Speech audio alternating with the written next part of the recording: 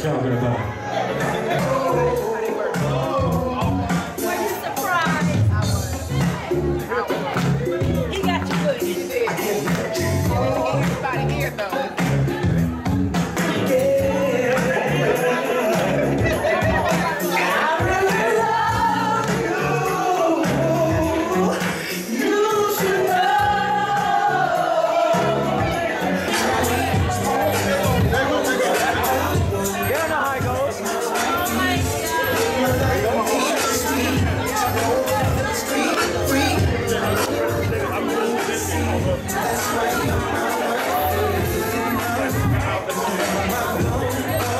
Just want to give you the world. I'm looking forward to the rest of our lives together. And this will not be the last time that we celebrate you. I love you so much. And thank you for everything you've done for me.